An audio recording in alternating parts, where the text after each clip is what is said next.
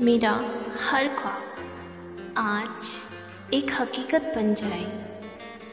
जो हो बस तुम्हारे साथ, ऐसी ज़िंदगी बन जाए। हम लाए हैं लाखों में एक गुलाब तुम्हारे लिए, और ये गुलाब हमारी मोहब्बत की शुरुआत बन जाए। Happy rose day.